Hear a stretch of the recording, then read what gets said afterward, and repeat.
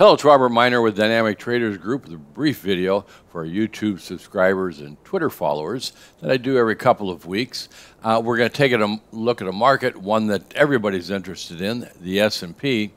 And not only are we going to take a look at the current position, potential trade setups uh, coming up here in the next few days or maybe a week or so, but I'm going to make it into a little bit of a lesson about Elliott Wave. Real simple stuff about Elliott Wave, but how it can be really helpful to identify the position of the market and the probable outcome of the market. If you like what you learned here today, uh, check out at dynamictraders.com or Traders News. You can sign up for that, and it's absolutely free. We don't require any charge card, just your email address so we can notify you when we put up other uh, trade alerts that are uh, free for our Traders News subscribers.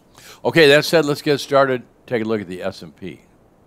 This is the ES uh, September contract. It's the daily data.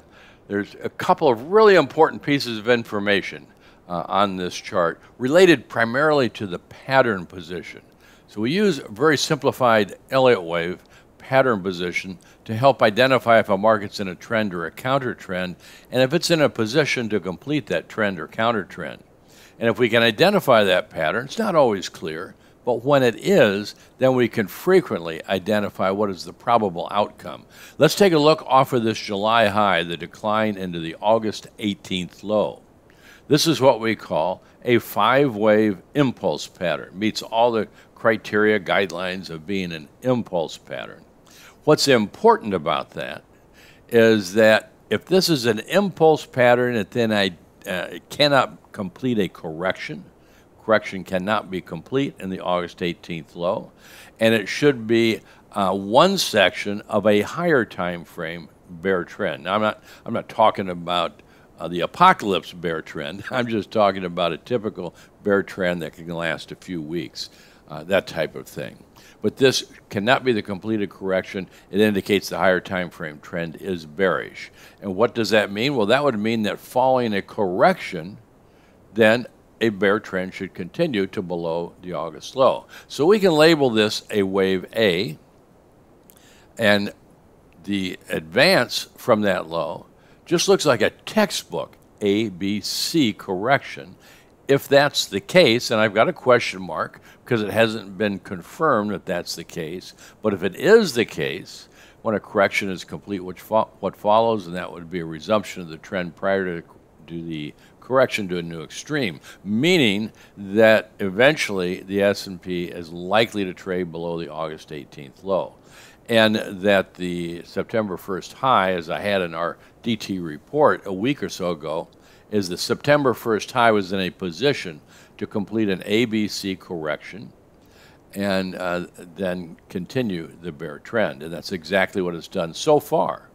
Now, let me show you a couple pieces of information you can write these down because they'll be important in the days ahead.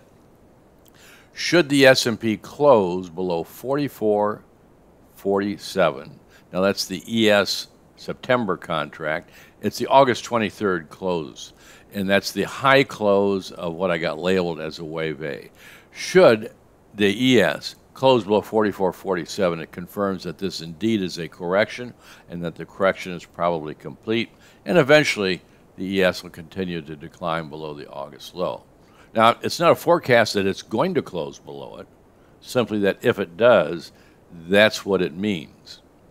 Uh, let's take a look down here. This is the uh, daily momentum cycle. It's reached oversold, and this data, of course, is as of Friday the 9th, but it's uh, oversold. That warns that a daily low is uh, near, probably within a day or two, if it's not already complete we can see last Thursday how the ES came down and just tagged the 62% retracement. That may be important. Um, we'll see. Let's take a look at the 240 minute data. So coming off of what I had labeled as that wave B high from the September first high, what's the pattern here? Well, it's real simple. You don't need to get complicated. You don't need to get your textbooks out. This is an impulsive pattern. It's that simple. And that's exactly what should follow the end of a correction, if indeed the September 1st completed that little ABC up to a higher time frame wave B.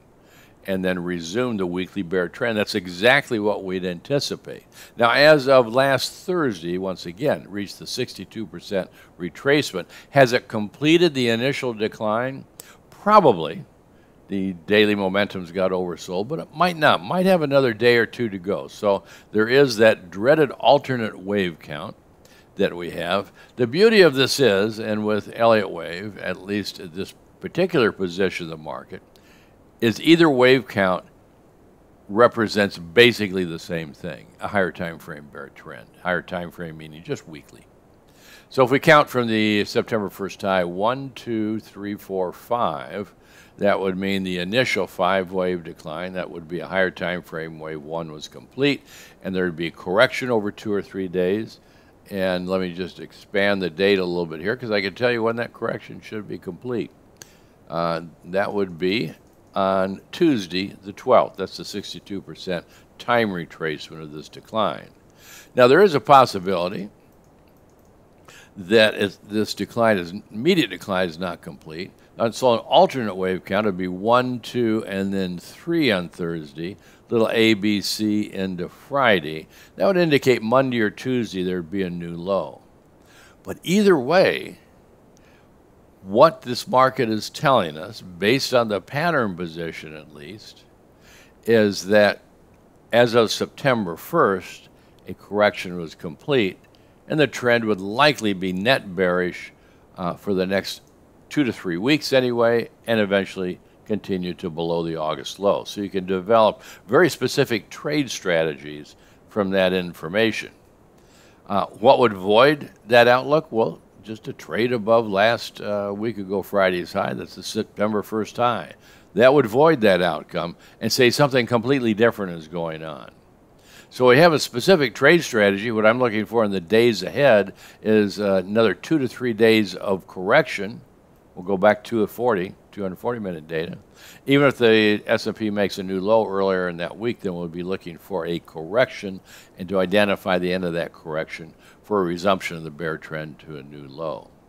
Uh, so we're looking for a correction because we want to position ourselves on the side of the market of the major trend, and that, as of now, looks like bearish and eventually to below the August low. So you don't have to trade uh, the S&P futures contracts or options or whatever, but uh, there's ETFs, bear market ETFs. That's what I use for most of my trades. I do futures trading, but uh, in retirement account and uh, just personal accounts is bull and bear ETFs work really well on all this type of analysis and trade strategies. Well, that's it for today, my friends. Be sure and subscribe if you want to be alerted to other updates that we have. And if you like what you learn, pass it on. Tell other people about it. Remember, everything you learn and everything that you learn in any one of these videos you can use for any actively traded market in any time frame. That's it for today. Robert Miner, over and out. Everybody take care, be healthy, have some fun. See you next time.